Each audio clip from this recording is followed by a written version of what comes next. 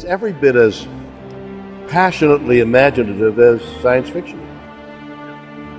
But you guys are working on it. It's incredible.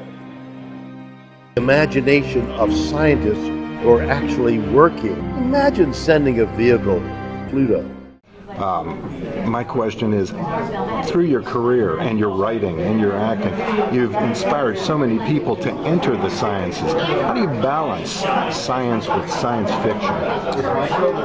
They're both the same. Uh, a a, a uh, astrophysicist looking out there is thinking in terms of science fiction. Anyway, the the mystery of science fiction is what I'm talking about. Science and science fiction are essentially the same. Thank you very much. Last question. What I think is the key to what I'm doing is to see me discover what it is I'm trying to, to tell you. What do you do? And he says, it's all in my head. I think. I said, well, how do you prove what you're thinking exists? Because it's all theory.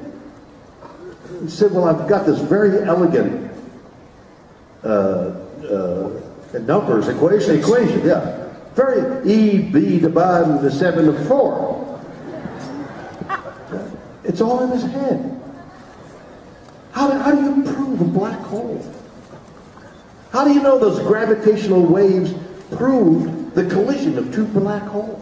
Somehow, eventually, they are able to observe phenomena. No, they can't observe. It's too far away. It's too theoretical.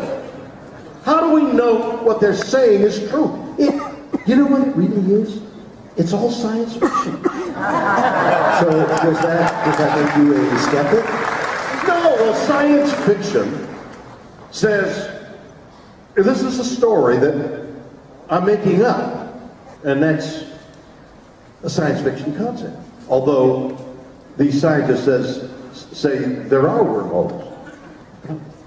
How do you know? galaxy. So, so I mean, it's science fiction, all right. So, so, uh, but we know about wormholes. We know the mathematics of them. That's the science fiction part of it. Another place in the galaxy. Okay. And so you can use it in principle to travel and uh, in, in well, well, well. Se ad esempio un astronomo presentasse una teoria sull'universo bene accetta dall'uomo della strada, probabilmente sarebbe in errore. Scienza e filosofia non sono poi così distanti, signori. Grazie, per oggi è tutto.